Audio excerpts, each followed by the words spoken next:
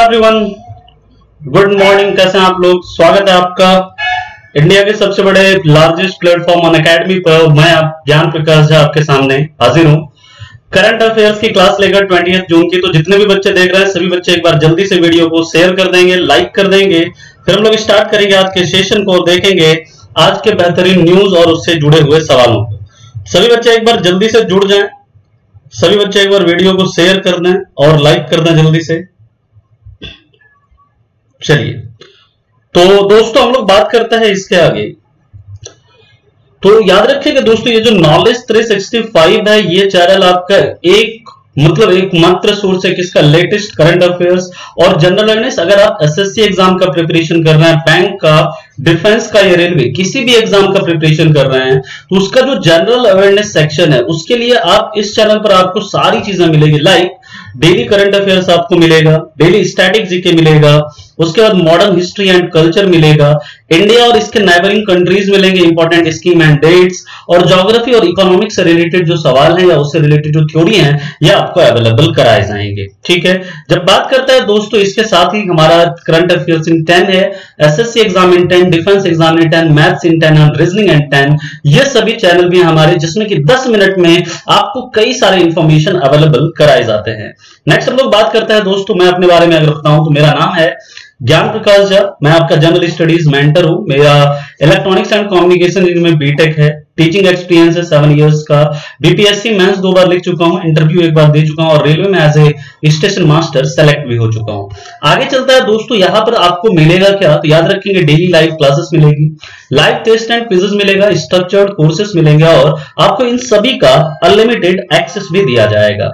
इसके आगे की बात करें दोस्तों तो आपको कैसे अनकेडमी सब्सक्रिप्शन प्लेटफॉर्म पर आपको कैसे रजिस्टर करना है, इसकी अगर बात करें तो याद रखेंगे दोस्तों, इसके लिए आपको क्या करना है? अनकेडमी लर्निंग ऐप कौन सा आप अनकेडमी लर्निंग ऐप आपको इंस्टॉल करना है। इसके बाद आपको क्या करना है दोस्तों? अपना गोल एसएससी एग्ज़ाम सेलेक्ट करना है, फिर इसके बाद ये गेट सब्सक्रिप्शन इस पर क्लिक करेंगे जैसे तो आप देखेंगे यहाँ पर एक मंथ का थ्री मंथ का सिक्स मंथ का और ट्वेल्व मंथ और ट्वेंटी फोर मंथ के सब्सक्रिप्शन प्लान का ये प्राइस है। एक मंथ का ट्वेल्व हंड्रेड है थ्री मंथ का आपका वन थाउज़ेंड पर मंथ है सिक्स मंथ का एट हंड्रेड पर मंथ है ट्वेल्व मंथ का फाइव हंड्रेड और ट्वेंटी फोर मंथ का। कितना? थ्री हंड्रेड पर मंथ है। तो यहाँ पर दोस्तों, आप अगर बिगिनर हैं तो आपके लिए थ्री हंड्रेड पर मंथ वाला प्लान सबसे बेस्ट होगा। और फाइव हंड्रेड पर मंथ अगर आपने पहले से प्रिपरेशन कर रखा है तो आपके लिए ये प्लान अच्छा है। आपको क्या करना है? एक प्लान सेलेक्ट करना है, इसके बाद कंटिन्यू करना है। फिर उसके बाद क्या करना है? आपको ये कोड लगाना है, ज्ञान टेन ये हमारा कोड है। इस कोड को लगाते ही आपको क्या मिलेगा? टेन परसेंट का इंस्टेंट डिस्काउंट मिलेगा। यानी कि जिसकी प्राइस सेवेंटी है, वो प्राइस आपको घटकर कितनी हो जाएगी? सिक्स यानी कि थ्री हंड्रेड पर मंथ से घटकर ये टू सेवेंटी पर मंथ का आपका हो जाएगा। तो दोस्तों, इसके बाद आपको क्या करना है? पे करना है। पेमेंट करने के बाद आप क्या कर सकते हैं? जितने भी सब्सक्रिप्शन प्लान के जो भी बेनिफिट्स हैं, उसका लाभ उठा सकते हैं। और याद रखेंगे सिक्स ट्वेल्व और ट्वेंटी फोर मंथ का अगर आप सब्सक्रिप्शन प्लान लेते हैं तो इसमें आपको दोस्तों, कितना मिलेगा? नो कॉस्ट ईएमआई का ऑप्शन भी अवेलेबल है। ठीक है? तो चलिए दोस्तों, हम लोग बात करेंगे आज के न्यूज़ की तो स्टार्ट करते हैं आज के सेशन को। शिवम हापुर जी, नमस्ते मुकुल सरकार जी। नज़र अहमद जी, रवीना शर्मा जी, राहुल कोहली जी, धारा सिंह जी, बहुत अच्छे। सभी बच्चे जल्दी से जुड़ जाएँगे, वीडियो को शेयर कर देंगे। प्रियंका वर्मा जी, आशीष कुमार जी, रजनी कुमारी जी बहुत बढ़िया। तो चलिए दोस्तों स्टार्ट करते हैं आज के सेशन को। जैसा हम लोग देखते हैं, पहले हम लोग क्या देखते हैं? इंपॉर्टेंट न्यूज़ को देखते हैं और उसके बाद उससे रिलेटेड कुछ सवालों को देखते हैं। तो आज हम लोग दोस्तों, कल के भी कुछ करंट अफेयर्स की न्यूज़ को देखेंगे और आज का तो हम लोग देखेंगे देखेंगे। यानी कि 19 और 20 जून दोनों ही दिन के करंट अफेयर्स के सेशन को देखेंगे हम लोग। ठीक है? तो चलिए स्टार्ट करते हैं आज के सेशन को। पहला आज का न्यूज़ आपके स्क्रीन के ऊपर ये रहा। आईसीआईसीआई होम फाइनेंस लॉन्चेज सरल, यहाँ पर याद रखिएगा क्या? सरल अफोर्डेबल हाउसिंग लोन स्कीम यानी कि आईसीआईसीआई होम फाइनेंस ने सरल नामक एक अफोर्डेबल हाउसिंग लोन स्कीम क्या किया? लॉन्च किया। आईसीआईसीआई बैंक की बात करता है। बिल्कुल राहुल कोहली जी, आज से आपकी कंटिन्यू क्लासेस होगी।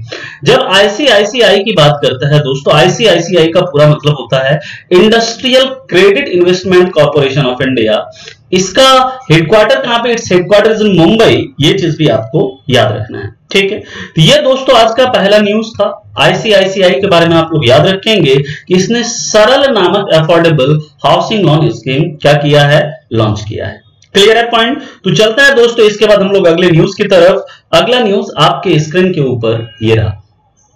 वॉल्कन बॉजगिर याद रखिएगा वॉल्कन बॉजगिर बहुत ही इंपॉर्टेंट न्यूज़ है दोस्तों, ये वेरी वेरी इंपॉर्टेंट अभी आने वाले एग्ज़ाम्स में ये आपका सवाल पूछा जाएगा, ठीक है? Volkan Bozkir becomes the first Turkish to be elected as the president of seventy fifth United Nation General Assembly यानी कि जो वॉल्कन बॉजगिर जो है जो कि कहाँ से बिलोंग करता है दोस्तों याद रखिएगा कहाँ से तर, क्या है ये? कहाँ से बिलोंग करते हैं? तो टर्किस है ये याद रखिएगा। और इनको 75 union, United Nation General Assembly का क्या चुना गया है? प्रेसिडेंट चुना गया है। याद रखना है इस चीज़ को। जब यूनाइटेड नेशन की जब बात करते हैं दोस्तों, यूनाइटेड नेशन का हेडक्वार्टर कहाँ पर है? तो आप लोग जानते हैं इट इज़ इन न्यूयॉर्क इसकी स्थापना कब हुई थी ये भी आप लोग जानते हैं twenty fourth of October 1945 that's why we celebrate या we observe twenty fourth October को हम लोग क्या यूनाइटेड नेशंस डे मनाते हैं। आप लोगों को कमेंट में बताना है यूनाइटेड नेशंस के हेड कौन है, या आप लोगों को बताना है। जल्दी से आप लोग जवाब दीजिएगा। और दोस्तों, जब बात करते हैं हम लोग इस टर्किस की, जब टर्किस की बात करते हैं दोस्तों तो यहाँ का कैपिटल क्या है? कैपिटल है दोस्तों अंकारा और कैपिटल यहाँ पर दोस्तों याद रखिएगा, इसकी करेंसी क्या है? करेंसी इज़ लीरा ठीक है? इस तथ्य को भी आपको याद रखना है। और दोस्तों, याद रखिएगा कि यूनाइटेड नेशन के जो हेड है, उनका नाम है एंटोनियो गुटेरस क्या नाम है? एंटोनियो गुटेरस जो दोस्तों कहाँ से बिलोंग करते हैं? ये बिलोंग्स फ्रॉम पुर्तगाल ठीक है ना? पुर्तगाल से याद रखिएगा दोस्तों। हमारे देश में आने वाले सबसे पहले विदेशी भी कौन थे? वो पुर्तगीज थे जो आए थे दोस्तों। उसका नाम क्या था? वॉस्को डिगामा कहाँ पर आए थे? तो आप लोग जानते हैं ये कहाँ पर आए थे? 1498 में। ये आए थे कहाँ पर? कालीकट। कालीकट तक के तट पर आए थे, जहाँ पर किंग जूमोरिन ने इनका क्या किया था? वेलकम किया था। इस तथ्य को भी आपने याद रखना है। सभी बच्चे साथ साथ सेशन को शेयर भी करते रहे लाइक भी करते रहे। इस चीज़ को भी आपने याद रखना दोस्तों पोर्टुगीज याद रखेंगे। आए भी थे सबसे पहले और गए भी थे सबसे बाद में। और इन्होंने दोस्तों, जो अपनी कॉलोनी बसाई थी ना, वो कहाँ पर बसाई थी? गोवा में। यानी गोवा जब तक इंडिया में शामिल नहीं हुआ था, तब तक वो किसके पास था? तब तक वो पुर्तगालियों के या पुर्तगीज के ही कंट्रोल में हुआ करता था। इस चीज़ को भी आपको याद रखना है। ठीक है? बहुत बढ़िया। पुर्तगाल का जो राजधानी है, बिल्कुल शिवम महापुर, जी लिस्बन है, आप बिल्कुल सही जवाब दे रहे हैं। अमिता जेना जी गुड मॉर्निंग राहुल कोहली जी, रजनी कुमारी जी, बहुत बढ़िया रवीना शर्मा जी वेरी गुड चलिए, हम लोग बात करते हैं दोस्तों, इसके बाद अगले न्यूज़ की बात करते हैं। नेक्स्ट न्यूज़ की बात करें तो याद रखेंगे कूबा टेक कुबाटेक बोरोनो बहुत ही इंपॉर्टेंट न्यूज़ है। कुबाटेक बोरोनो हम लोगों ने अभी पढ़ा था कुछ पिछले दिन में कि यहाँ के जो प्राइम मिनिस्टर उन्होंने क्या कर दिया था? इस्तीफा दे दिया था, है ना? तो कुबाटेक बोरोनो को क्या किया गया? किर्गिस्तान का क्या बनाया गया? दोस्तों, वहाँ का प्राइम मिनिस्टर यानी कि अंतरिम प्राइम मिनिस्टर इनको बनाया गया है किनको कुबाटबेक बोरोनोव को इस चीज़ को याद रखेंगे। अब बात करते हैं दोस्तों जब किर्गिस्तान की। किर्गिस्तान का कैपिटल किधर है भैया? आप लोग कमेंट में बताइए फटाफट। Where is capital of Kyrgyzstan Kyrgyzstan की राजधानी किधर है? बहुत अच्छे प्रियंका वर्मा जी, रजनी जी, शिवम हापुर जी, बहुत बढ़िया। ठीक है, बिल्कुल वास्को डिगमा जो है ये गोवा का सबसे बड़ा शहर भी है। बिल्कुल सही बता रहे हैं आप। हाँ हमारा प्रश्न है आपसे, किर्गिस्तान का कैपिटल किधर है? सभी बच्चों को बताना है। बहुत अच्छे एलोरा जी ने बिल्कुल सही जवाब दिया है। इसका जो कैपिटल है दैट इज़ बिस्केक है ना? बिस्केक एंड यहाँ की करेंसी क्या है? करेंसी इज़ याद रखेंगे करेंसी इज़ सोम। यहाँ की करेंसी क्या है दोस्तों? Its currency is som. Clear है पॉइंट अच्छा ये आप लोग बताएँ कि हमारे देश में जो प्राइम मिनिस्टर है प्राइम मिनिस्टर को अपॉइंट कौन करता है? फटाफट जवाब दीजिएगा। Prime minister is appointed by whom फटाफट जवाब देंगे सभी लोग। प्राइम मिनिस्टर को कौन अपॉइंट करता है आप लोगों को बताना है? और दोस्तों सेशन को आप लोग शेयर भी करते रहिए सभी लोग साथ साथ। प्राइम मिनिस्टर को कौन अपॉइंट करता है हमारे देश में? हमारा प्रश्न है आपसे। जल्दी से सभी बच्चे जवाब देंगे और सेशन को शेयर भी करते रहेंगे सभी लोग। और दोस्तों, आज आपकी क्लास भी होगी, शाम में भी क्लास होगी आठ बजे। हिस्ट्री की क्लास ठीक है? याद रखिएगा prime minister is appointed by whom याद रखिएगा दोस्तों प्रेसिडेंट राष्ट्रपति क्या करता है? प्रधानमंत्री को नियुक्त करता है, इस चीज़ को याद रखेंगे। अगले न्यूज़ की तरफ़ चलते हैं। माधव राव बलवंत पाटिल, याद रखेंगे? Madhav Rao Balwant Patil former Lok Sabha member and the founder of Jan Lakshmi cooperative bank कौन सा कोऑपरेटिव बैंक याद रखिएगा जन लक्ष्मी कोऑपरेटिव बैंक के फाउंडर जो है माधव राव बलवंत राव। और ये फॉर्मर लोकसभा मेंबर भी रह चुके हैं। इनका क्या हो गया? निधन हो गया। ये हैं। ये जो देख रहे हैं, यही है माधव राव बलवंत पाटिल। ये जनलक्ष्मी कोऑपरेटिव बैंक के क्या थे? फाउंडर थे। जब बात करते हैं दोस्तों कोऑपरेटिव बैंक की कोऑपरेटिव बैंक की जो स्ट्रक्चर होता है ना कोऑपरेटिव बैंक का, दोस्तों याद रखिएगा। कोऑपरेटिव बैंक का जो सबसे ग्रामीण लेवल पर जो होता है, उसे हम लोग क्या बोलते हैं? पीएसीएस बोलते हैं। पीएसीएस या जिसे क्या कहा जाता है? पैक्स कहते हैं। और इस पैक्स का मतलब क्या होता है? इस पीएसीएस का फुल फॉर्म भी याद रखेंगे दोस्तों। इसका फुल फॉर्म होता है प्राइमरी एग्रीकल्चर क्रेडिट सोसाइटी क्या नाम होता है इसका? प्राइमरी एग्रीकल्चर क्रेडिट सोसाइटी इसके बाद दोस्तों डिस्ट्रिक्ट लेवल पर, ये तो कहाँ पर होता है? विलेज लेवल पर होता है। डिस्ट्रिक्ट लेवल पर कौन सा होता है दोस्तों? डिस्ट्रिक्ट सेंट्रल कोऑपरेटिव बैंक या डीसीसीबी जिसे हम लोग बोलते हैं। और दोस्तों, जो स्टेट लेवल पर होता है, उसे हम लोग क्या बोलते हैं? स्टेट कोऑपरेटिव बैंक बोलते हैं। ठीक है? तो जो कोऑपरेटिव बैंक होता है दोस्तों, इसका स्ट्रक्चर कुछ ऐसा होता है। कई बार आपसे इस पीएससीएस का फुल फॉर्म पूछ लेते हैं। ठीक है ना? याद रखिएगा। जब बात करते हैं, दोस्तों, हम लोग यहाँ पर लोकसभा की। लोकसभा के बारे में याद रखेंगे लोकसभा के लिए आर्टिकल कौन सा है? आर्टिकल 81 एंड लोकसभा की जब बात करते हैं तो वर्तमान में जो लोकसभा में कुल सीटें हैं, वर्तमान में कितनी है? 545 लेकिन मैक्सिमम कितनी हो सकती है? 552 लोकसभा में, दोस्तों, सदस्य बनने के लिए जो न्यूनतम आयु सीमा है, वो कितनी है, दोस्तों? That is 25 year is the minimum age to become the member of Lok Sabha. इस तथ्य को भी आप याद रखेंगे। ठीक है? चलिए तो हम लोग बात करते हैं दोस्तों इसके बाद अगले मुद्दे के ऊपर चलते हैं। नेक्स्ट मुद्दे की बात करते हैं दोस्तों, अगला न्यूज़ आपके स्क्रीन के ऊपर। ये रहा the debut novel of Megha Majumdar uh यानी कि ये एक नोबेल है दोस्तों। ये है Megha Majumdar she is from West Bengal और ये रहती कहाँ पर ये न्यूयॉर्क में रहती है। और इन्होंने दोस्तों ऑक्सफोर्ड यूनिवर्सिटी से ऑक्सफोर्ड यूनिवर्सिटी से इन्होंने क्या किया? ग्रेजुएशन किया। ठीक है? और दोस्तों, इसके बाद इन्होंने अभी अभी एक क्या लिखा है? एक नॉवेल लिखा है, इनका पहला नॉवेल है ये, मेघा मजूमदार। ठीक है ना? इनका पहला नॉवेल है क्या? एबर्नी बहुत ही इंपॉर्टेंट ये बुक है, आपके एग्जामिनेशन पॉइंट ऑफ़ व्यू से देखा जाए तो इस चीज़ को आपको याद रखना है। ठीक है?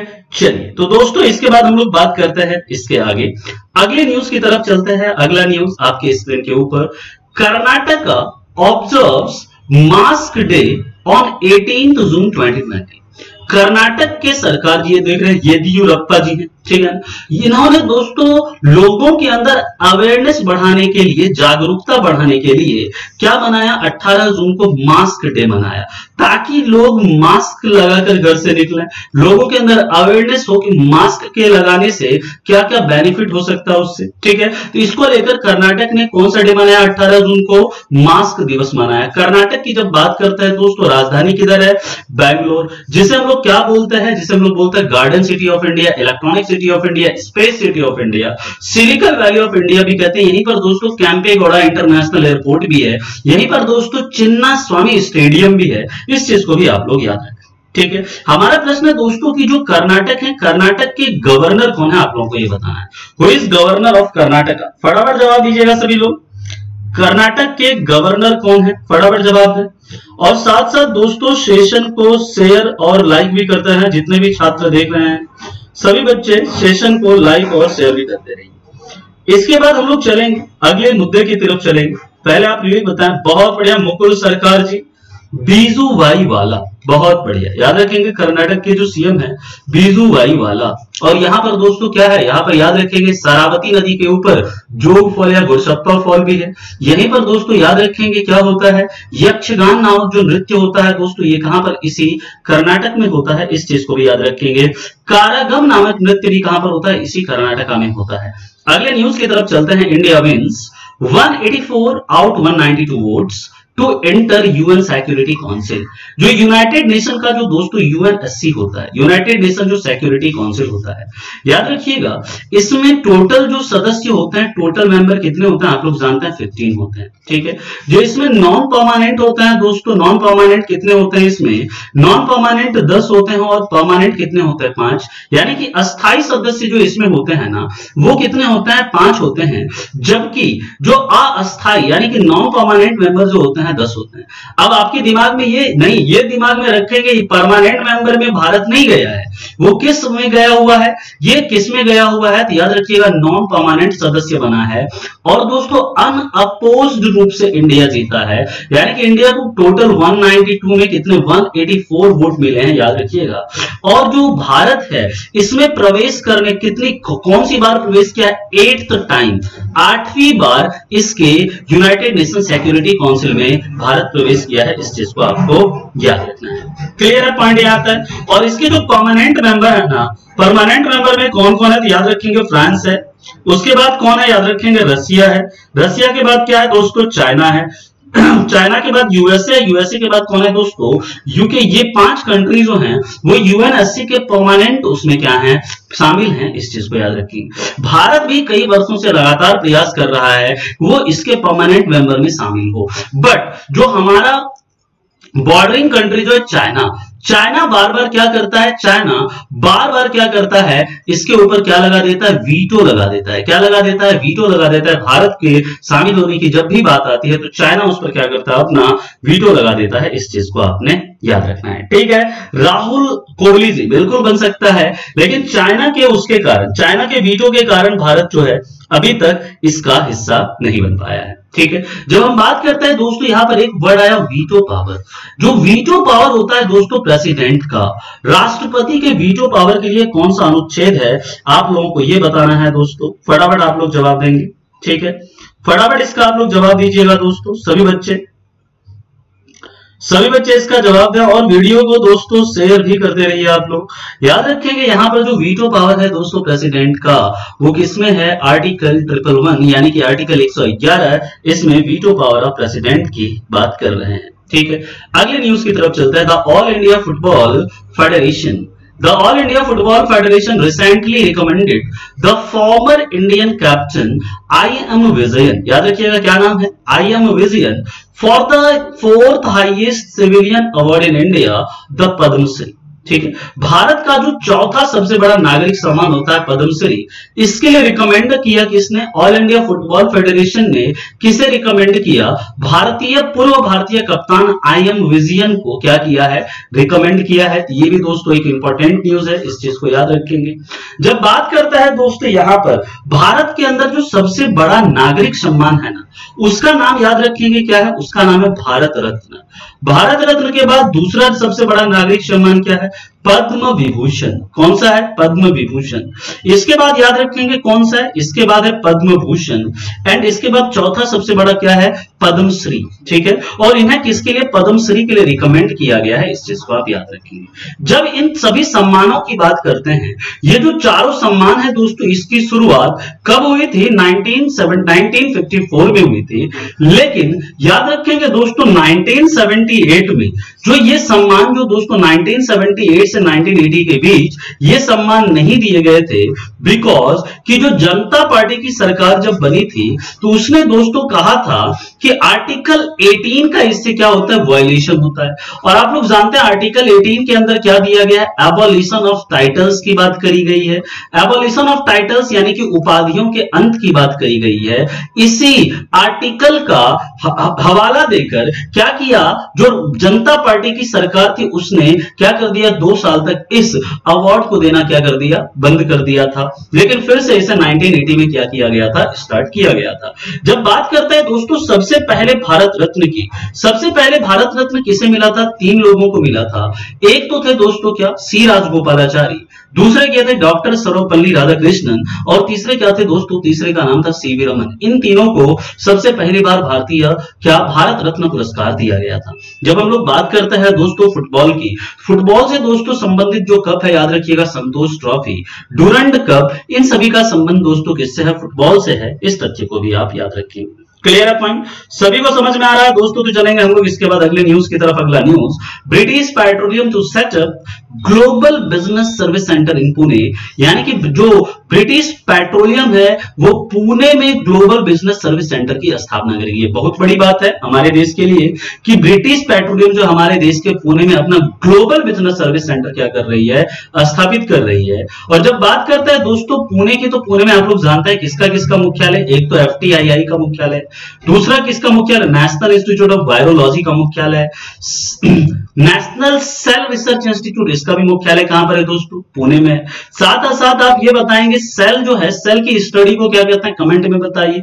जब बात करते हैं दोस्तों पेट्रोलियम की पेट्रोलियम को जो मेजर किया जाए अंतरराष्ट्रीय बाज़ार में पेट्रोलियम की जो कीमत मेजर की जाती है, वो किसमें? प्रति बैरल डॉलर प्रति बैरल में की जाती है। और आप लोगों को यह भी याद रखना होता है कि एक बैरल में कितने लीटर तेल होते हैं। तो याद रखिएगा एक बैरल में दोस्तों याद रखना 159 लीटर क्या होता है? 159 लीटर क्या होता है दोस्तों? क्रूड ऑयल होता है इस चीज़ को भी आपको याद रखना है। और सेल की स्टडी को जैसा आप लोग बता रहे हैं सेल की स्टडी को क्या कहा जाता है दो, दोस्तों? That is called cytology cell की स्टडी को क्या कहते हैं हम लोग? साइटोलॉजी कहते हैं इस चीज़ को याद रखेंगे और दोस्तों जितने भी पेट्रोलियम एक्सपोर्टिंग कंट्रीज़ हैं उनका एक संगठन भी है जिसका नाम है ओपेक ओपेक या organisation of petroleum exporting countries जिसका हेडक्वार्टर किधर है दोस्तों? जिसका हेडक्वार्टर है वियना। ऑस्ट्रिया में इस चीज़ को भी आपको याद रखना है। और सेल सेल की खोज करने वाले कौन थे दोस्तों? सेल की खोज करने वाले व्यक्ति का नाम था रॉबर्ट हुक, जैसा आप लोग बता रहे हैं, बिल्कुल सही बता रहे हैं। Mahi cute ji, good morning, Radhe, Mohan ji, बहुत बढ़िया। सभी बच्चे शेयर भी करते रहिए, सेशन को सभी बच्चे लाइक भी करते रहे जितने भी नए बच्चे जुड़ रहे हैं। ठीक है, अब हम लोग बात करेंगे दोस्तों इसके अगले न्यूज़ की। अगला न्यूज़ आपके स्क्रीन के ऊपर। Malayalam film director K R Sachidanandan Malayalam film director K R Sachidanandan passed away यानी कि मलयालम फ़िल्म निर्देशक के आर सचिदानंदन का क्या हो गया? निधन हो गया। यहाँ पर मलयालम की जब बात करते हैं दोस्तों मलयालम कहाँ की भाषा है तो आप लोग जानते हैं। कहाँ की भाषा है ये? केरला कहा का लैंग्वेज है? केरला, वही केरला, जहाँ पर कथक नृत्य होता है। और जहाँ पर दोस्तों, क्या होता है? कथक कली नॉट कथक, जहाँ पर कथक कली नृत्य होता है। और जहाँ पर दोस्तों, मोहिनी अट्टम मोहिनी अट्टम नामक नृत्य भी कहाँ पर होता है? इसी केरला में। साइलेंट वैली नेशनल पार्क भी दोस्तों, इसी केरला में है। इस चीज़ को आपको याद रखना है। अच्छा बहुत बढ़िया राधा मोहन जी, आपने बहुत बढ़िया डीपी लगा रखा है, सलमान खान का। ठीक है ना? चलिए। अब बात करते हैं दोस्तों, इसके बाद हम लोग इसके आगे, अगले न्यूज़ की तरफ़ चलते हैं, अगला न्यूज़ जेएसडब्ल्यू सीमेंट बहुत ही इंपॉर्टेंट न्यूज़ है ये भी। जेएसडब्ल्यू सीमेंट ने किसे सौरभ गोंगली और किसे? सुनील छेत्री को क्या किया है? अपना ब्रांड एम्बेसडर नियुक्त किया है। ये देखिए, जो जेएसडब्ल्यू का जो सीमेंट है ना सीमेंट उस सीमेंट के लिए उन्होंने अपना ब्रांड एम्बेसडर किसे? सौरभ गांगुली को। और किसे? सुनील छेत्री, इन दोनों को नियुक्त किया है। सौरभ गांगुली के बारे में जानते हैं दोस्तों, ये बीसीसीआई के क्या है? प्रेसिडेंट भी है, जानते हैं आप लोग। और बीसीसीआई के सीईओ कौन है? सेक्रेटरी कौन है? ये भी आप लोग जानते हैं, इसके सेक्रेटरी है जैसा। इसका जो दोस्तों हेडक्वार्टर कहाँ पर है? मुंबई में, ये भी आप लोग जानते हैं। और सुनील छेत्री जो है, दोस्तों, ये क्या है, हमारे देश के फुटबॉल प्लेयर हैं, इस चीज़ को भी आपको याद रखना है। बहुत बढ़िया, सोनू डाल्टनगंज ठीक है, चलिए। चलिए दोस्तों, अब हम बात करते हैं इसके आगे, अगले न्यूज़ की तरफ़ चलते हैं।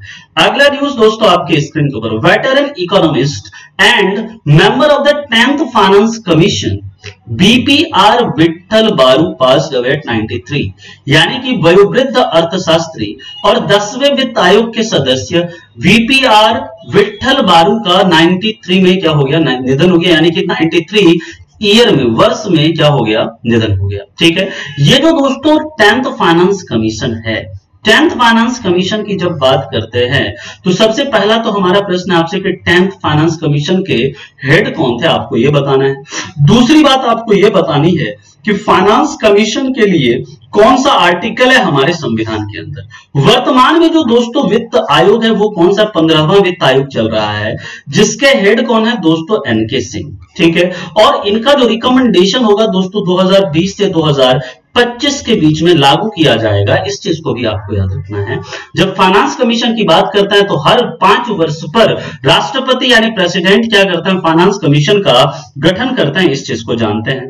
फाइनेंस कमीशन के लिए बहुत बढ़िया हमारे पास जवाब आ रहा है बच्चों का कि इस बच्चे कह रहे हैं आर्टिकल टू में फाइनेंस कमीशन की बात कर रहे हैं। तो बिल्कुल आप लोग सही बता रहे हैं कि आर्टिकल टू में ही क्या बात करी गई है? फाइनेंस कमीशन की बात करी गई है। दोस्तों, हमारा दूसरा प्रश्न है टेंथ फाइनेंस कमीशन कमीशन के हेड कौन है, ये आपको बताना है। टेंथ फाइनेंस कमीशन के हेड कौन है, फटाफट जवाब दीजिएगा। टेंथ फाइनेंस कमीशन के हेड कौन है, जल्दी से। सभी बच्चे जवाब दें। टेंथ फाइनेंस कमीशन के हेड कौन थे?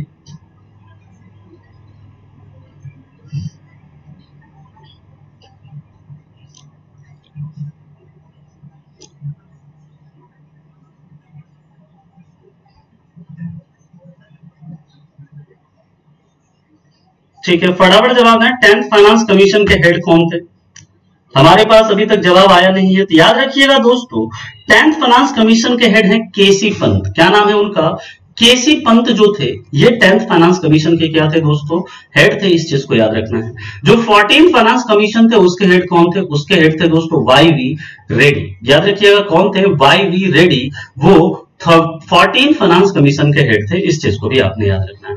थर्टीन फाइनेंस कमीशन के हेड कौन थे? तो विजय केलकर थे, जबकि ट्वेल्थ फाइनेंस कमीशन के दोस्तों हेड कौन थे? उनका नाम था सी रंगराजन। हमारा प्रश्न है आपसे, एक बुक है दोस्तों who moved my interest rate who moved my interest rate इसके दोस्तों लेखक कौन है? Who moved my interest rate ये जो किताब है, इसके राइटर कौन है? आप लोगों को ये बताना बिल्कुल KC Pant is the right answer हमारा प्रश्न है आपसे कि जो who moved my interest rate इसके राइटर कौन है? जल्दी से आप लोग जवाब दीजिए सभी लोग। है ना? Who moved my interest rate के राइटर कौन है? सभी बच्चे सेशन जब जल्दी से जवाब दीजिएगा इसका। बिल्कुल पहले वित्त आयोग के हेड कौन थे? फ़र्स्ट फाइनेंस कमीशन के हेड थे दोस्तों केसी नियोगी जो पहला वित्त आयोग था, इसके हेड कौन थे? केसी नियोगी इस चीज़ को भी आपको याद रखना है। ठीक है? केसी नियोगी पहले वित्त आयोग के हेड थे। बहुत बढ़िया। चलिए, हम लोग बात करते हैं दोस्तों इसके आगे। अगले न्यूज़ की तरफ़। हमारा प्रश्न अभी तक हमारे प्रश्न का जवाब नहीं आया है। ठीक है तो इसका आप लोग जवाब दीजिए सभी लोग। Who moved my interest rate नामक किताब के लेखक कौन है? जबकि एक किताब I do what I do इसके लेखक कौन है? तो याद रखेंगे आप लोग Raghuram Rajan. I do what I do इसके लेखक कौन है? तो याद रखेंगे रघुराम राजन है।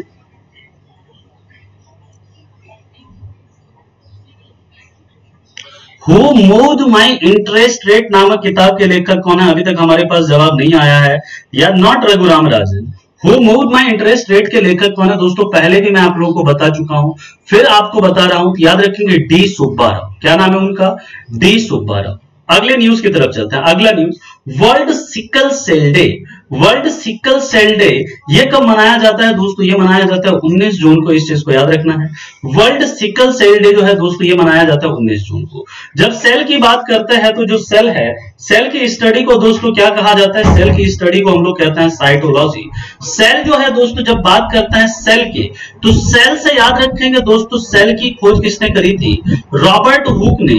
लेकिन रॉबर्ट हुक ने दोस्तों, जिस सेल को खोजा था, वो एक कैसा, एक डेड सेल था जबकि सबसे पहले लिविंग सेल की खोज करने वाले कौन थे? एंटोनी वॉल्जेबर सबसे छोटी कोशिका दोस्तों किसमें मिलती है? तो आप लोग जानते हैं माइकोप्लाज्मा नामक एक बैक्टीरिया में, जबकि सबसे बड़ी कोशिका दोस्तों किसमें मिलती है? ऑस्ट्रिच एग में मिलती है। ठीक है? हमारे शरीर के अंदर जो सबसे बड़ी कोशिका होती है दोस्तों दैट इज़ अवंग यानी अंडाणु जबकि हमारे शरीर के अंदर सबसे छोटी कोशिका क्या होती है? अस्पम यानी शुक्राणु जो होती है ये, सबसे छोटी कोशिका होती है, इस चीज़ को आपको याद रखना है। ठीक है? अब बात करेंगे दोस्तों इसके अगले न्यूज़ के अगला news R I L R I L का मतलब है दोस्तों Reliance Industries Limited becomes first Indian company to be valued at US dollar 150 million यानी कि लगभग 11 लाख करोड़, यानी कि 11 लाख करोड़ के वैल्यू वाली सबसे पहली जो इंडियन कंपनी बनी है, वो कौन सी बनी है दोस्तों? Reliance Industries Limited this is also a very very important news बहुत ही इंपॉर्टेंट न्यूज़ है इस चीज़ को आपको याद रखना है। ये जो रिलायंस इंडस्ट्रीज़ लिमिटेड है दोस्तों, जिसका हेडक्वार्टर किधर है? मुंबई में है। याद रखिएगा, ये दोस्तों, भारत की मतलब पहली कंपनी बनी है, जिसका दोस्तों मूल्य, जिसका वैल्यू कितना है यूएसडी डॉलर 150 बिलियन या लगभग 11 लाख करोड़ रुपए। क्लियर है पॉइंट यहाँ तक? तो चलिए इसके बाद हम लोग चलते हैं अगले न्यूज़ की तरफ़। अगला न्यूज़ आपके स्क्रीन के ऊपर ये रहा। फ्रांस टू प्रोवाइड बहुत ही अच्छा सवाल है। France to provide loan of 200 million euros यहाँ पर याद रखिएगा क्या? यूरोस डॉलर नहीं। 200 million euros to India to support Delhi covid response यानी कि दिल्ली में जो कोविड 19 के केसेस जो बढ़ रहे हैं, उसको कंट्रोल करने के लिए, उस पर रिस्पांस के लिए फ्रांस जो है, भारत को कितना कर्ज देगा 200 मिलियन यूरो का। कितना कर्ज देगा? 200 मिलियन यूरो का कर्ज देगा इस चीज़ को आपको याद रखना है। अब जब बात करते हैं दोस्तों फ्रांस की, जो फ्रांस है, फ्रांस का कैपिटल तो आप लोग जानते हैं पेरिस है। यहीं पर दोस्तों ओईसीडी का मुख्यालय, यहीं पर आपका यूनेस्को का मुख्यालय है। ये पेरिस जो है दोस्तों सीन नदी के किनारे आप लोग ये भी जानते हैं। सीन रिवर के किनारे है। यहाँ के जो प्रेसिडेंट है इमैनुअल मैक्रोन है, ये भी आप लोग जानते हैं। लेकिन दोस्तों, हमारा प्रश्न है आपसे इंडिया और फ्रांस के बीच में कौन सी एक्सरसाइज होती है? कौन सी एक्सरसाइज इंडिया और फ्रांस के बीच में होती है, ये आप लोगों को बताना है। जल्दी से आप लोग जवाब दें। और दोस्तों, आप लोग सेशन को शेयर नहीं कर रहे हैं। तो जितने भी बच्चे देख रहे हैं, सभी बच्चे सेशन को शेयर भी करते रहिए। समझ में आ रही है चीज़ें तो सेशन को क्या करें आप लोग? शेयर और लाइक भी करते रहे।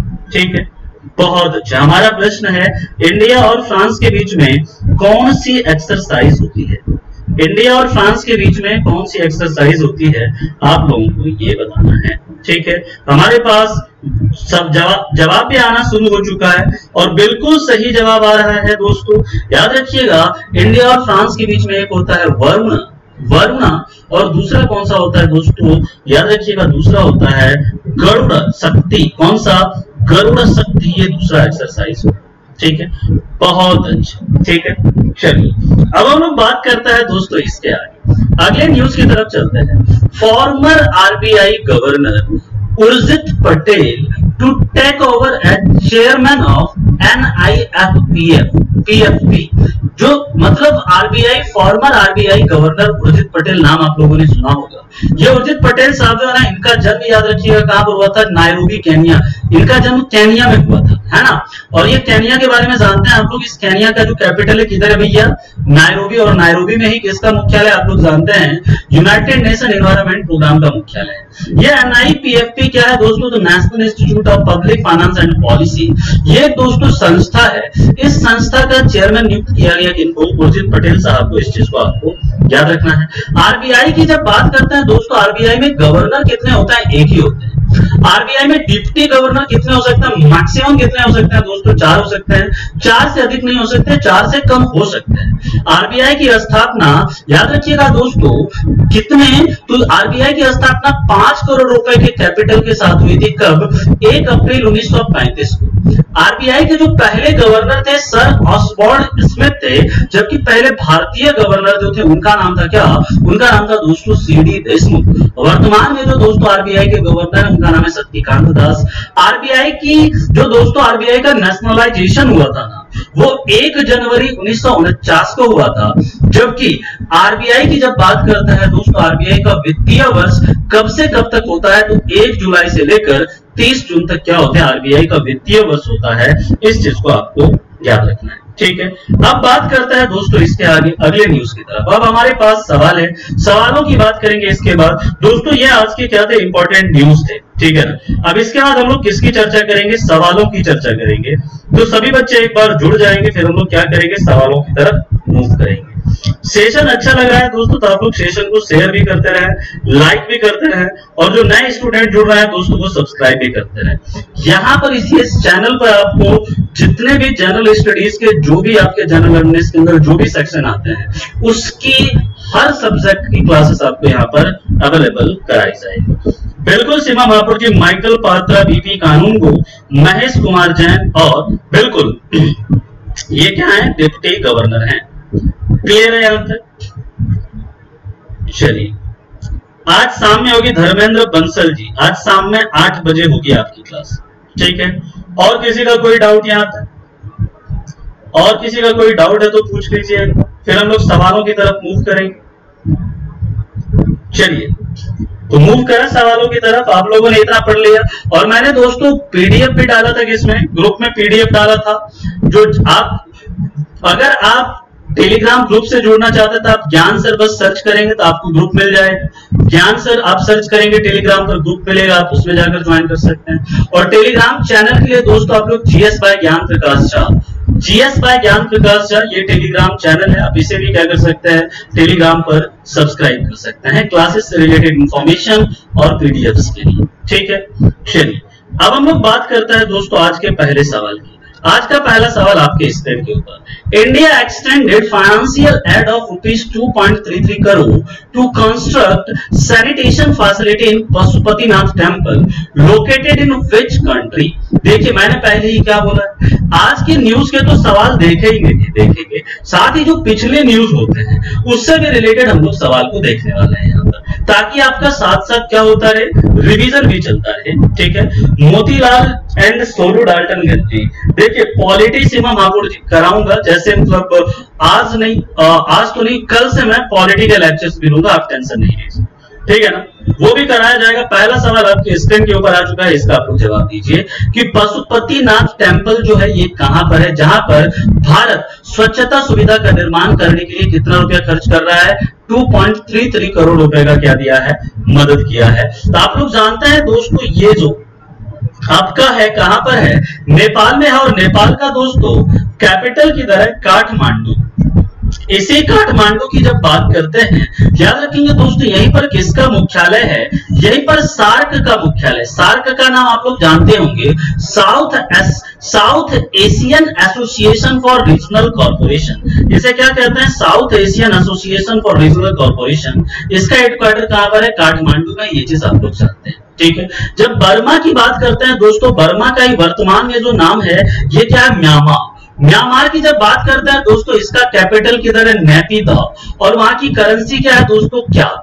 ठीक है? भूटान के बारे में आप लोग जानते हैं, दोस्तों, भूटान का कैपिटल थिम्पू और करेंसी क्या है, दोस्तों? इसकी करेंसी है नगुल्ट्रोम इज़ द करेंसी और तिब्बत के बारे में याद रखिएगा दोस्तों, तिब्बत में जो ब्रह्मपुत्र नदी है ना, उसको किस नाम से जानते हैं? उसको जानते हैं हम लोग सांगपो। शांगपो के नाम से जानते हैं तिब्बत में। किसे? तिब्बत में ब्रह्मपुत्र रिवर को इस चीज़ को आप लोग जानते ठीक है?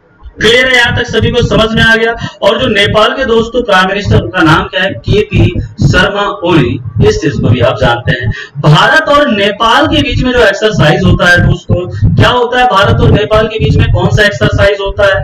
ये आप लोग जानते हैं, सूर्य किरण। सूर्य किरण जो होता है, भारत और नेपाल के बीच में होता है। जबकि नेपाल और चीन के बीच में जो एक्सरसाइज होता है ना, उसका नाम क्या है, दोस्तों? सागर माथा। सागर माथा एक्सरसाइज किसके किसके बीच में? नेपाल और चीन के बीच में होता है। सागर माता दोस्तों, नेपाल में किसे कहते हैं? याद रखिएगा, विश्व की जो सबसे वर्ल्ड का जो सबसे हाईएस्ट पीक है, जिसका नाम है माउंट एवरेस्ट माउंट एवरेस्ट को ही नेपाल में किस नाम से जाना जाता है? सागर माथा के नाम से जानते हैं। इस चीज़ को आप लोगों को याद रखना है। क्लियर है पॉइंट यहाँ तक? चलिए, अब हम लोग बात करते हैं दोस्तों, इसके आगे अगले न्यूज़ की तरफ़ चलते हैं। अगले सवाल की तरफ़। अगला सवाल आपके स्क्रीन के ऊपर ये रहा। Name the BCCI first ombudsman who has got one year extension as ethics officer and ombudsman. यानी कि बीसीसीआई के पहले लोकपाल का नाम बताएँ, जिसे नैतिकता अधिकारी और लोकपाल के रूप में एक साल का विस्तार मिला है। पीके मिश्रा वीके सिंह तरुण विजय या डी के जैन इसका आप लोग जवाब दीजिए। बिल्कुल Nazar, Ahmad ji hand in hand ये भारत और चीन के बीच में होने वाला एक्सरसाइज है, इस चीज़ को आपको याद बहुत अच्छे। बहुत अच्छे राधे मोहन जी, बहुत बढ़िया राधे श्याम जी, मुकुल सरकार जी, सभी लोग बिल्कुल सही उत्तर दे रहे हैं। और दोस्तों सेशन को आप लोग क्या कीजिए? शेयर भी करते रहिए सभी छात्र। सेशन को आप लोग लाइक भी करते हैं ठीक है? चलिए तो इसका दोस्तों सही उत्तर क्या आप लोगों को पता है? इसका सही उत्तर क्या है? इसका सही उत्तर है डीकेजन बीसीसीआई के बारे में आप लोग जानते हैं। इसका हेडक्वार्टर मुंबई, इसके हेड है, इसके जो प्रेसिडेंट हैं सौरभ गांगुली और इसके जो सेक्रेटरी जनरल हैं तो उनके जो सेक्रेटरी हैं, इनका नाम है कौन? जैसा ये इसके सेक्रेटरी अगले सवाल की तरफ़ चलते हैं। What is India largest recipient of FDI in 2019 as per world investment report 2020 ठीक है ना? वर्ल्ड इन्वेस्टमेंट रिपोर्ट 2020 ये दोस्तों कौन रिलीज़ करता है? ये रिलीज़ करता है अंकटेड अंकटेड का मतलब क्या United Nation cooperation for trade and development ठीक है ना? United Nation cooperation of trade and development ये दोस्तों अंकटेड का क्या है? पूरा मतलब है। ये विश्व निवेश रिपोर्ट 2020 या कई बार आपसे ऐसे भी सवाल पूछा जाता है कि वर्ल्ड इन्वेस्टमेंट रिपोर्ट किस एजेंसी के द्वारा जारी की जाती है?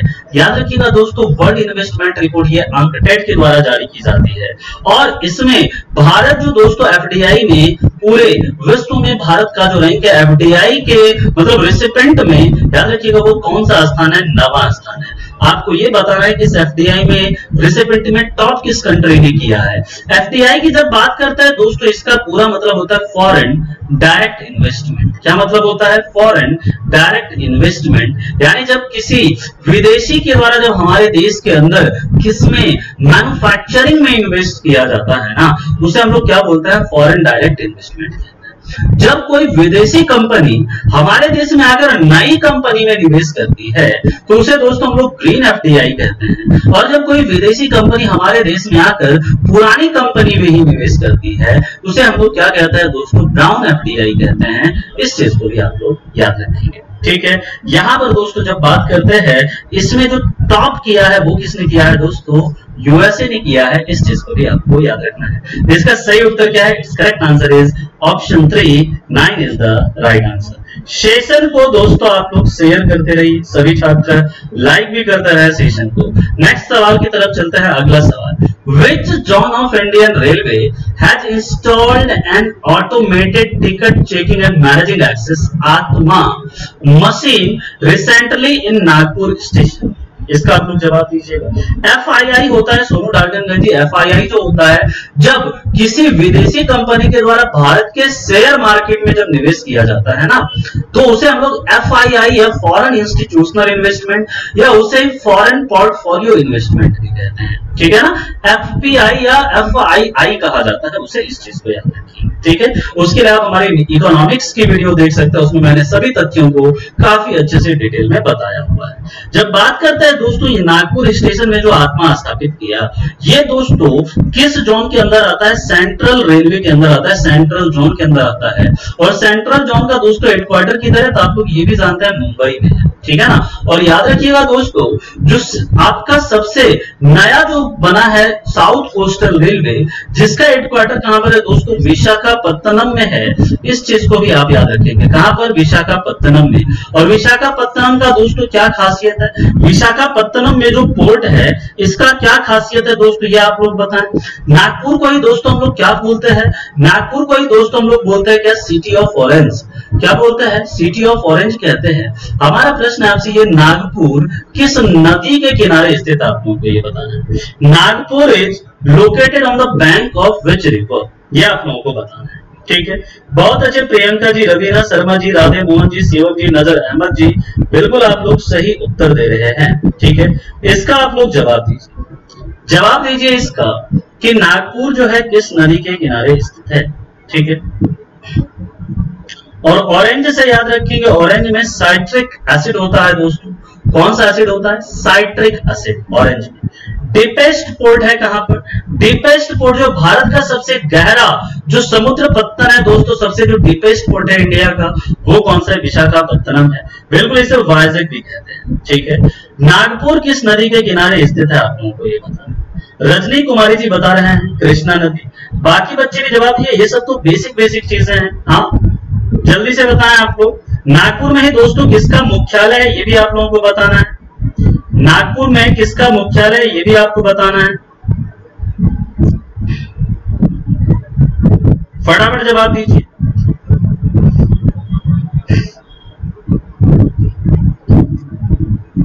नागपुर नागपुर के बारे में याद रखेंगे दोस्तों, ये किस नदी के किनारे? तो इनका नाम ही पता है क्या? नागपुर। तो नागपुर से याद रखेंगे किस नदी के किनारे? नाग रिवर के किनारे स्थित है। और इस नागपुर में दोस्तों किसका मुख्यालय है। तो नीरी, किसका मुख्यालय है? नीरी नीरी का मतलब क्या? National environment engineering research institute ये इसका पूरा मतलब है। बहुत अच्छे अर्पिता सरकार जी ने बिल्कुल सही उत्तर दिया है। बिल्कुल सभी बच्चे नाग रिवर मुकुल सरकार जी, बहुत बढ़िया। सेशन को शेयर करते रहे आप लोग। अगले सवाल पर चलते हैं। अगला सवाल the fourth edition of Asian Youth Para Games is going to be held in which country in December 2021? यानी कि दिसंबर 2021 में एशियाई युवा पैरा खेलों का चौथा संस्करण किस देश में आयोजित होने जा रहा है? जवाब दीजिए इसका जल्दी से। सभी बच्चे इसका जवाब दें। फटाफट आप लोगों को ये बताया गया है। मैंने दोस्तों ग्रुप में आपका पीडीएफ शेयर किया था, उसमें सारे ये न्यूज़ जो है दोस्तों, सारे न्यूज़ मैंने शामिल किए हुए हैं, जिससे रिलेटेड सवाल है। तो इससे ये पता चलेगा कि आप लोगों को जो दिया जाता है पीडीएफ, आप उसे देखते भी हैं या बस ऐसे ही डाउनलोड करके छोड़ देते हैं। है ना? तो इसका आप लोग जवाब दीजिएगा। ये इसका दोस्तों कहाँ पर आयोजन होने वाला है? बहरेन में। कहाँ पर आयोजन होने वाला है? बहरेन में। और इस बहरान की बहरेन की दोस्तों, राजधानी किधर है? तो आप लोग याद रखेंगे मनामा। कहाँ पर इसकी राजधानी? Manama is the capital of Bahrain इस चीज़ को भी आप याद रखेंगे। बिल्कुल। एंड दिनार इज़ द करेंसी यहाँ की करेंसी क्या है दोस्तों? Its currency is dinar next question की तरफ़ चलते हैं। अगला सवाल आपकी स्क्रीन के ऊपर। Rajmohan Bohra who passed away in June 2020 is renowned Rajmohan Bohra जिनका 2000 जून 2020 में निधन हो गया, वो एक प्रसिद्ध डैश है, एक्टर है, आर्मी पर्सनल है, पेंटर है, या आर्किटेक्ट अगला सवाल आपके स्क्रीन के ऊपर आ चुका है, इसका आपको जवाब। और सेशन को शेयर करते रहिए लाइक करते रहिए सभी बच्चे इसी प्रकार। ज़्यादा से ज़्यादा आप लोग दोस्तों सेशन को क्या करें? शेयर करें। तो राजमोहर मोहरा की जब बात करते हैं दोस्तों, इनको कौन सा चक्र मिला था आपको ये बताना है? कौन सा इनको सम्मान मिला था ये आप लोगों को बताना है। ये क्या है दोस्तों? ये है आर्मी पर्सनल है। क्या है? आर्मी पर्सनल है। और सेना में दोस्तों जो सबसे बड़ा सम्मान दिया जाता है वो कौन सा दिया जाता है? वो दिया जाता है परमवीर चक्र। और ये 1971 में जो दोस्तों वॉर हुआ था, इंडो पाक वॉर जो हुआ था 1971 में, किसको लेकर? बांग्लादेश को लेकर। उसके दोस्तों जो वॉर हीरो भी रह चुके थे ये राजमोहन बोहरा, उसके वॉर हीरो भी थे। और इनको दोस्तों एक अवार्ड मिला था। इनको जो सम्मान मिला था, उसका नाम क्या है? महावीर चक्र से इन्हें क्या किया गया था? सम्मानित भी किया गया था इस चीज़ को लिए, इस चीज़ के लिए, इस चीज़ को भी आपको याद रखना है। क्लियर है पॉइंट तो चलिए दोस्तों, बात करते हैं इसके बाद अगले न्यूज़ की। अगला न्यूज़ आपके स्क्रीन के ऊपर। ये रहा। नेक्स्ट क्वेश्चन की अगर हम लोग बात करें, अगला क्वेश्चन आपकी स्क्रीन के ऊपर। वो authored the book titled Klara and the Sun यानी कि क्लारा और द सन नामक पुस्तक के लेखक कौन है? क्लारा एंड द सन नामक पुस्तक के लेखक कौन है? तो याद रखिएगा। फटाफट सभी अभी हम लोगों ने इसके बारे में पढ़ा है। जल्दी से इसका आप लोग जवाब दीजिए। कि क्लारा एंड द सन नामक पुस्तक के लेखक कौन है? को Kazuo Ishiguro Bob Dylan, Alice Munro या पीटर हैंड की जल्दी से इसका जवाब दीजिएगा सभी लोग और इसी प्रकार दोस्तों, आप लोग सेशन को शेयर करते हैं और शाम में आपकी आठ बजे आज हिस्ट्री की क्लास होगी। इस चीज़ को भी आपको याद रखना है। ठीक है ना? बहुत बढ़िया, शिवम हापुड़ जी, बहुत अच्छे रजनी कुमारी जी बहुत बढ़िया, मुकुल सरकार जी, रवीना शर्मा जी। इस सवाल का जवाब दीजिए आप क्लारा एंड द सन यहाँ पर देखिए सन की जब बात करते हैं ना तो सन से याद रखिएगा सन के अंदर जो सन जो है अर्थ का सबसे नियरेस्ट स्टार है है ना? Nearest star to the earth कौन है सन यहाँ पर एनर्जी किसके कारण?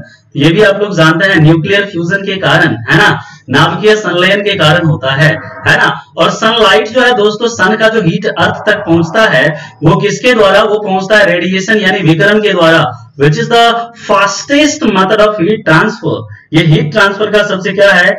फास्टेस्ट मेथड भी है। दोस्तों क्लारा एंड सन जो मिला है ना, ये ये दोस्तों क्लारा एंड सन इसके लेखक कौन है? काजुओ गुरु इनको दोस्तों 2017 में क्या नोबेल पुरस्कार भी मिल चुका है? इस चीज़ को भी याद रखेंगे।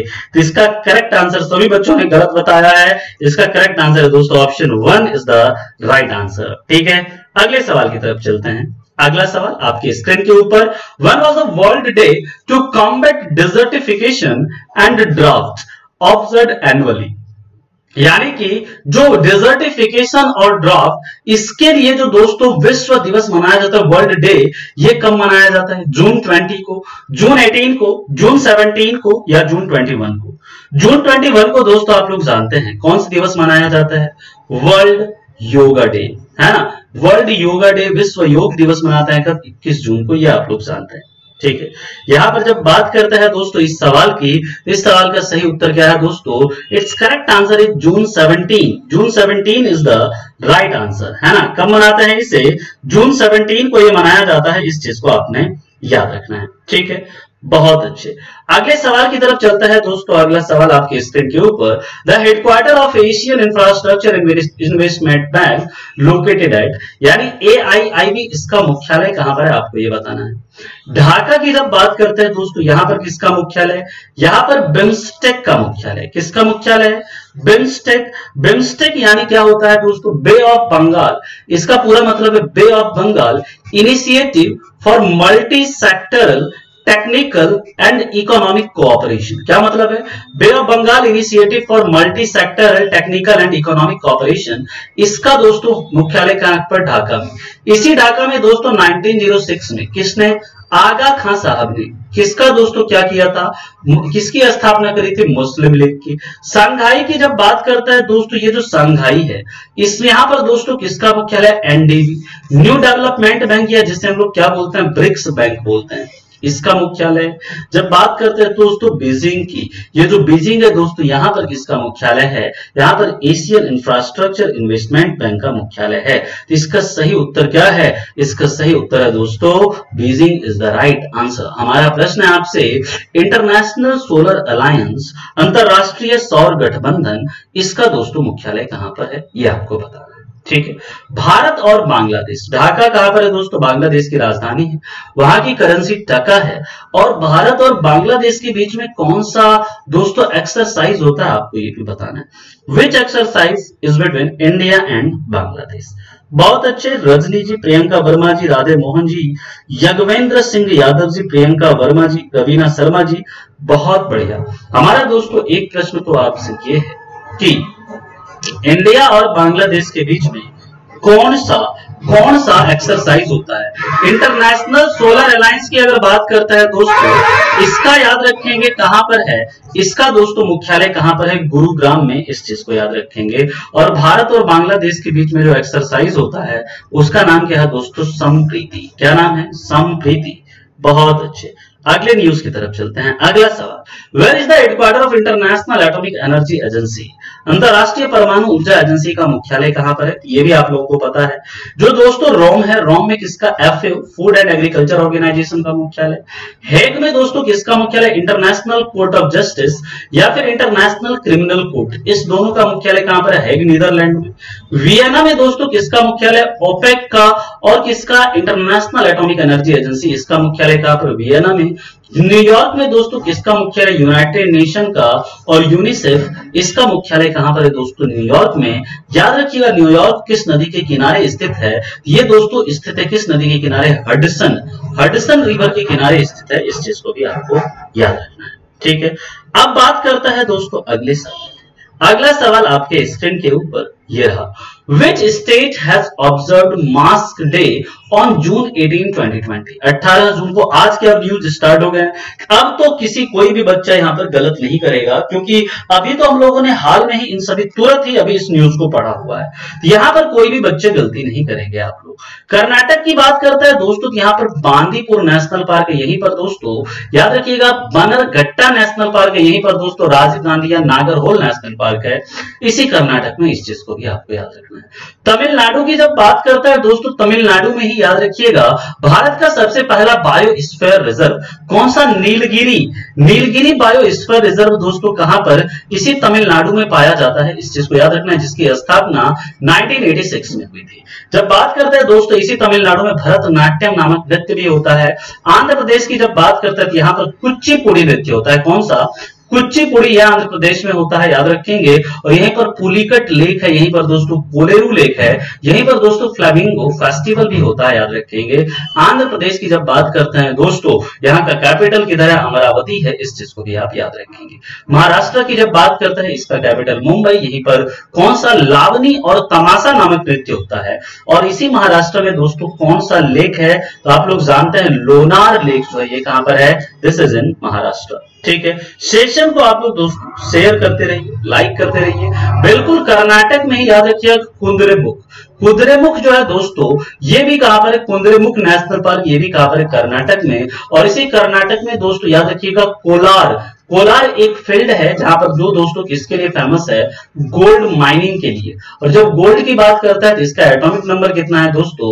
79 is the atomic number of gold which is highly malleable and highly ductile सबसे ज़्यादा डक्टाइल और सबसे ज़्यादा मैलिएबल जो दोस्तों धातु है, वो कौन सी है? गोल्ड है। इस चीज़ को भी आप लोग याद रखेंगे। बिल्कुल शिवम हापुर जी, काला घोड़ा महोत्सव जो मुंबई में होता है Mumbai situated on the bank of which river याद रखिएगा, ये जो सिचुएटेड होता है दोस्तों, किस रिवर पर? तो या मुंबई जो है दोस्तों, किस मतलब द्वीप पर स्थित है? सालसेट नामक द्वीप पर स्थित है। हमारा प्रश्न है दोस्तों, भारत की सबसे बड़ी जनजाति कौन सी बता सकते हैं क्या? भारत की सबसे बड़ी ट्राइब कौन सी है? एनीबडी भारत की सबसे बड़ी ट्राइब कौन सी है? कोई बता सकता है? जल्दी से जवाब दीजिए आप लोग। इसी तरह दोस्तों सेशन को आप लोग शेयर और लाइक भी करते रहिए। और आपकी सामने आज हिस्ट्री की भी क्लास होगी दोस्तों। याद रखेंगे ठीक है? तो हमारा प्रश्न है आपसे, बिल्कुल एक्वारेजिया जो होता है गोल्ड में पूरी तरह घुल जाता है, शिवम महापुर जी, वही एक्वारेजिया जिसका निर्माण HCl और HNO3 उसको थ्री इस टू वन में क्या करने से, मिलाने से बनता है क्या? एक्वारेजिया ठीक है? याद रखिएगा भारत की जो सबसे बड़ी जनजाति है नॉट गोंड गौड़ जो है, भारत की सबसे बड़ी जनजाति नहीं है, दोस्तों। यहाँ पर सभी बच्चे गलत जवाब दे रहे हैं। गोंद एमपी जो है एमपी की सबसे बड़ी जनजाति कह सकते हैं गोंद को, लेकिन भारत की सबसे बड़ी जनजाति गोंद नहीं है। That is the second largest tribe of India है ना? सेकेंड लार्जेस्ट ट्राइब है। भारत की जो सबसे बड़ी जनजाति है ना दोस्तों, उसका नाम है क्या? भील। याद रखिएगा। क्या है? भील। तो ऐसी गलती नहीं करेंगे। सोनू डाल्टनगंज जी ने बिल्कुल सही जवाब दिया है। ठीक है?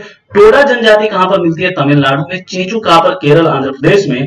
डोंगरिया कौन कहाँ पर? दोस्तों, उड़ीसा में। याद रखिएगा, इसी प्रकार संथाली कहाँ पर मिलता है दोस्तों? बंगाल और झारखंड में। ठीक है। क्लियर पॉइंट सभी को समझ में आ रहा है ना? ठीक है। बहुत अच्छे। अगले न्यूज़ की तरफ़ चलते हैं। अगला सवाल आपकी स्क्रीन के ऊपर।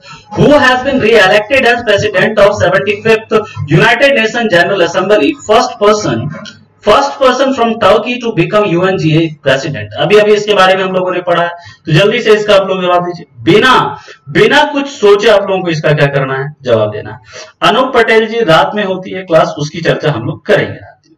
ठीक है?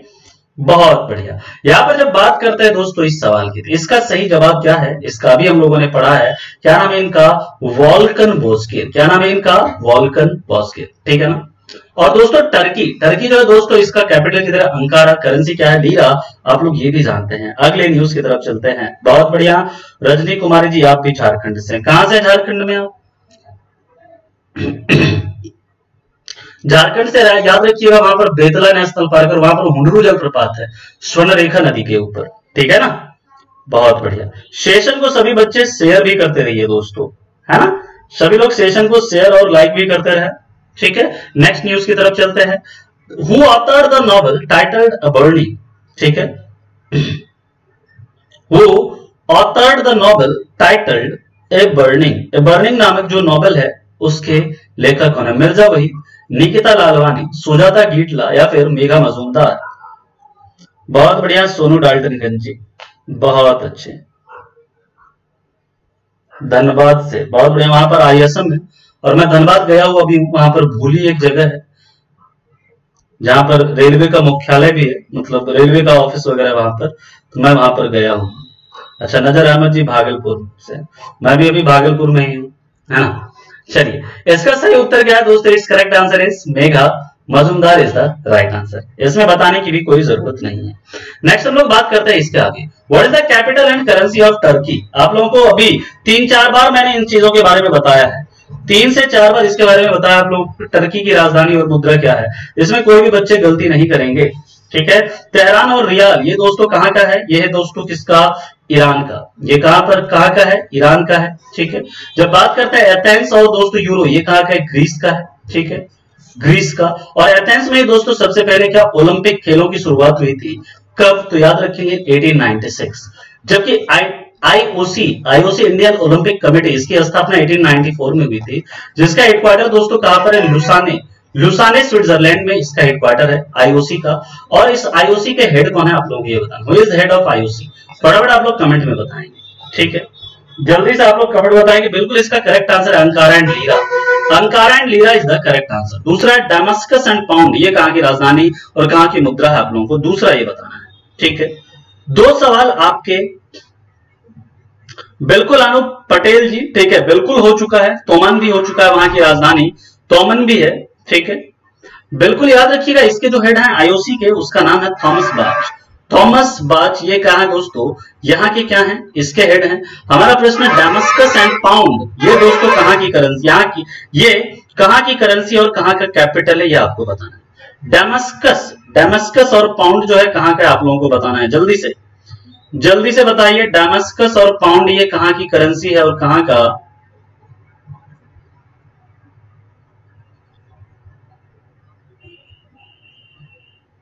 ठीक है। इतना मैं बता दे रहा हूँ, वहाँ पर एक प्रसिद्ध, क्या है दोस्तों? ऑर्गेनाइजेशन है, एक आतंकी संगठन है, जिसे हम लोग क्या बोलते हैं? आईएसआईएस है ना? आईएसआईएस ठीक है ना? इतना मैं बता सकता हूँ। आईएसआईएस के बारे में जानते हैं दोस्तों आप लोग। Islamic State of Iraq and Syria है ना? यह दोस्तों आईएसआईएस का पूरा मतलब। और दोस्तों यहाँ पर ये जो डेमस्कस और पाउंड है, ये दोस्तों किसका? सीरिया याद रखिएगा क्या है दोस्तों? सीरिया की राजधानी ये क्या? डेमस्कस ठीक है? अगले सवाल की तरफ़ चलते हैं दोस्तों। अगला सवाल आपके स्क्रीन के ऊपर। World went was world crocodile day observe annually यानी कि विश्व मगरमच्छ दिवस प्रतिवर्ष कब मनाया जाता है? जून पंद्रह, जून सत्ताईस, जून अठारह या जून सत्रह को। अगला सवाल आपकी स्क्रीन के ऊपर आ चुका है, इसका आप लोग जवाब दीजिए। पाँच से दस मिनट अभी आपकी और क्लासेस चलेगी। पाँच से छह सवाल हैं। लगभग पाँच मिनट के आसपास आपकी क्लास और चलेगी। ठीक है? तो इसका आप लोग जवाब दीजिएगा दोस्तों, विश्व मगरमच्छ दिवस कब मनाया जाता है? पंद्रह जून को सत्ताईस जून को अट्ठारह जून को और सत्रह जून ठीक है, कल आपका पूरा डे मैं रिवाइज करवा दूँगा। अभी तक जितने भी डेज़ हैं, सारे डेज़ को कल रिवाइज करवा दिया जाएगा। आप लोग चिंता ना करें, ठीक है? जल्दी से इसका आप लोग जवाब दीजिएगा वर्ल्ड क्रोकोडाइल डे ये कब मनाया जाता है? तो आप लोगों को पता होना चाहिए वर्ल्ड क्रोकोडाइल डे दोस्तों, ये कब मनाते हैं? ये मनाते हैं जून 17 को। कब मनाते हैं ये? जून 17 को। और क्रोकोडाइल के हर्ट में कितने चैम्बर होते हैं? क्रोकोडाइल के हर्ट में कितने चैम्बर होते हैं, दोस्तों कमेंट में बताइए। हाउ मैनी चैम्बर यानी कि क्रोकोडाइल का जो हर्ट होता है, उसके हृदय में कितने कोष्ठक होते हैं, ये आप लोगों को बताना है। जल्दी से आप लोग जवाब दीजिए। ठीक है, बिल्कुल June seventeen is the right answer Rahul Kohli ji, बहुत अच्छे। Mukul Sarkar ji, Anoop Patel S G. Crocodile के हर्ट में कितने चैम्बर होते हैं तो हमारे पास जवाब आना शुरू हो चुका है। और बिल्कुल सभी छात्र शानदार जवाब दे रहे हैं, कितने चैम्बर होते हैं। चार कोष्ठक होते हैं, याद रखिएगा। सीमा मापुर जी, मुकुल सरकार जी, बहुत बढ़िया। बिल्कुल सही उत्तर है राहुल कोहली जी, रजनी कुमारी जी यागवेंद्र सिंह यादव जी, प्रियंका वर्मा जी वेरी गुड अगले सवाल की तरफ़ which country will provide a loan of 200 million euros to India to support Delhi's covid 19 response यानी कि भारत को किस देश ने 200 मिलियन यूरो के मदद की बात करी है? अभी अभी जस्ट पढ़ा है हमने। तो आप लोग बता सकते हैं इसका जवाब? स्पेन का कैपिटल दोस्तों की तरह तो आप लोग जानते हैं मैड्रिड है ना? यूएसए और भारत के बीच में दोस्तों कौन सा अभ्यास होता है? कौन सा युद्ध अभ्यास होता है? ठीक है ना? किसके किसके बीच में? भारत और यूएसए के बीच में। भारत और फ्रांस के बीच में हम लोगों ने देखा वरुण और क्या? गरुड़ शक्ति होता है। भारत और ऑस्ट्रेलिया के बीच में क्या होता है दोस्तों? आस इंडेक्स। आस इंडेक्स जो होता है दोस्तों, ये किसके बीच में? भारत और ऑस्ट्रेलिया के बीच में होता है। ऑस्ट्रेलिया का कैपिटल किधर है? कैनबेरा है। ये भी आप लोग जानते हैं। ठीक है ना? तो इसका सही उत्तर क्या है दोस्तों? It's correct answer is option B is the right answer next सवाल की तरफ़ चलता है दोस्तों। अगला सवाल आपके स्क्रीन के ऊपर। Which of the following company has partnered with Karur Vysya bank for simpler and flexible financing scheme यानी कि भारत में से, निम्नलिखित में से किस कंपनी ने सरल और लचीले वित्त पोषण योजनाओं के लिए करोड़ वैश्य बैंक के साथ भागीदारी की है। टीवीएस मोटर्स ने टाटा मोटर्स ने होंडा मोटर्स ने या मारुति सुजुकी ने। अगला सवाल आपके स्क्रीन के ऊपर आ चुका है। ठीक है ना? बिल्कुल। आ, बिल्कुल राहुल कोहली जी बिल्कुल आप सही बता रहे हैं। ठीक है? बहुत अच्छे मुकुल सरकार जी। ठीक है? बिल्कुल वज्र प्रहार भी होता है किसके बीच में? बहुत अच्छे। बिल्कुल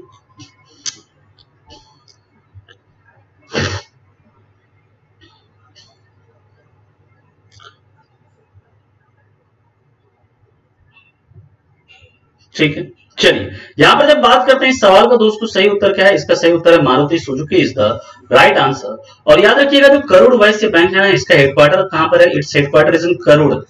करोड़ कहाँ पर है? इसका हेडक्वार्टर दोस्तों कहाँ पर है? करोड़ में है। इस चीज़ को आपको याद रखना है, करोड़ वैश्य बैंक का। ठीक है? रवीना शर्मा जी, बहुत बढ़िया। इसका अगला सवाल आपके स्क्रीन के ऊपर जवाब दीजिएगा। Who has been appointed as chairman and chairman of NIPFP national institute of public finance and policy इसके जो अध्यक्ष के रूप में किसे नामित किया गया है? ठीक है? उर्जित पटेल को रघुराम राजन को, डी सुब्बा राव को या बिमल जालान को। ठीक है? जवाब दीजिएगा इसको। राहुल कोहली जी सिलेक्शन लीजिए, बिल्कुल दिलवा देंगे। विदाउट सिलेक्शन कुछ भी नहीं। सिलेक्शन लीजिए, दिला दूँगा मैं आपको। ठीक है? चलिए। यहाँ पर बताइए national institute of public finance and policy इसके अध्यक्ष के रूप में किसे नियुक्त किया गया तो आप लोग जानते हैं, उर्जित पटेल को। ठीक है, अभी अभी पढ़ा। रघुराम राजन ने दोस्तों कौन सा किताब लिखा है? I do what I do D Subbarao ने दोस्तों कौन सी किताब लिखी है? Who move my interest rate अगले सवाल की तरफ़ चलते हैं, अगला सवाल। Kubatbek Boronov has been appointed as the acting prime minister of which of the following country यानी कुबात बेग बोरोनो को निम्नलिखित में से किस देश के कार्यवाही कार्यवाहक प्रधानमंत्री के रूप में नियुक्त किया गया है? इजिप्ट का, अजरबैजान का, उज्बेकिस्तान का या फिर किर्गिस्तान का? फटाफट इसका आप लोग जवाब दीजिएगा। क्या इसका सही उत्तर है? ठीक है? हाँ ठीक है, बिल्कुल कराएँगे सोनू जी। जो पहले जितने भी आप बिल्कुल टेंशन नहीं लीजिए, ठीक है? बिल्कुल मेहनत करते रहिए, पूनम सिंह जी। टेंशन, बिल्कुल पेशेंस रखना है। सिलेक्शन एक ना, एक दिन अवश्य होगा, ठीक है? आपको अपने पेशेंस के साथ अपना आपको हंड्रेड परसेंट देना है, ठीक है ना? आपको अपना क्या करना है? हंड्रेड परसेंट देना है, ठीक है? और सिलेक्शन बिल्कुल होगा, चिंता ना करें उसकी आप, ठीक है? यहाँ पर जब बात करते हैं दोस्तों कुबतबेग बोरोनो, इनको दोस्तों कहाँ का किर्गिस्तान का प्राइम मिनिस्टर नियुक्त किया गया है, जहाँ का दोस्तों कैपिटल क्या है? बिस्के ठीक है ना? इजिप्ट का दोस्तों क्या है? कायरो ठीक है ना? जिसे हम लोग काहिरा कहते हैं। और जो इजिप्ट है दोस्तों, इसे क्या कहते हैं? इसे कहते हैं गिफ्ट ऑफ़ रिवर नाइल ठीक है ना? गिफ्ट ऑफ़ रिवर नाइल यानी कि नील नदी का उपहार कहा जाता है इसे, ठीक है ना? किसे कहते हैं? मिस्र ठीक है? उज्बेकिस्तान का कैपिटल किधर आप लोगों को यह बताना है। Where is capital of Uzbekistan? Uzbekistan की राजधानी किधर है? आप लोगों को यह बताना है। जल्दी से आप लोग इसका जवाब दीजिए। Where is capital of Uzbekistan?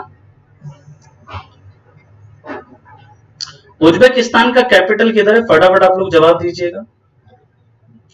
Capital of Uzbekistan किधर है? इसके बाद आएगा दोस्तों हमारा क्वेश्चन ऑफ़ द डे अच्छा साउंड में क्या इशू आ रहा है क्या कुछ? इसके बाद आएगा दोस्तों हमारा क्वेश्चन ऑफ़ द डे अच्छा ठीक है मैं साउंड को देखता हूँ करवा दूँगा ठीक चिंता नहीं कीजिए। नेक्स्ट सेशन में मैं इसको ठीक करवा दूँगा। ठीक है। उज्बेकिस्तान का दोस्तों क्या है? कैपिटल याद रखिएगा इसका है Tashkent Tashkent is the capital of Uzbekistan. इस चीज़ को आप याद रखेंगे। ठीक है? चलिए तो अब हम लोग बात करते हैं दोस्तों आज का question of the day what is the capital of Azerbaijan Azerbaijan की राजधानी किधर है? अजरबैजान की राजधानी किधर है, यह आप लोगों को बताना है। आज का क्वेश्चन ऑफ़ द डे है।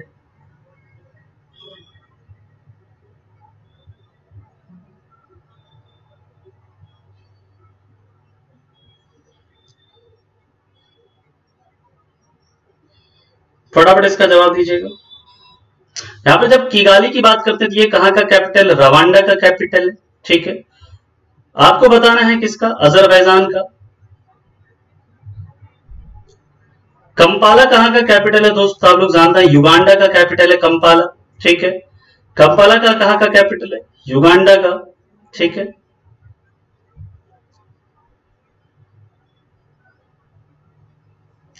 और एडिस अबाबा ये कहाँ का दोस्तों कैपिटल ये इथोपिया। इथोपिया का कैपिटल है। ये कहाँ का? इथोपिया का। ये कहाँ का है? ये दोस्तों, याद रखेंगे, युगांडा का है है ना? और अजरबैजान का कैपिटल दोस्तों क्या है? आप लोग जानते हैं Baku. Baku is the capital of Azerbaijan. ठीक है? तो चलिए दोस्तों, आज के लिए हम लोग बस इतना ही रखेंगे। आप लोगों को दोस्तों सेशन अच्छा लगा है तो आप लोग क्या करेंगे? इस सेशन को क्या करेंगे? लाइक करेंगे शेयर करेंगे। और ये जो आपका चैनल है नॉलेज 365 इस चैनल को क्या करेंगे दोस्तों? सब्सक्राइब भी करेंगे। ठीक है ना? और दोस्तों, मेरा कोड है, आप लोग याद रखिएगा, ज्ञान चैन। ये कोड लगाना आप लोग नहीं भूलेंगे, कोई भी सब्सक्रिप्शन जब आप खरीदते हैं, वहाँ पर 10 परसेंट के डिस्काउंट के लिए कोड लगाना नहीं भूलेंगे।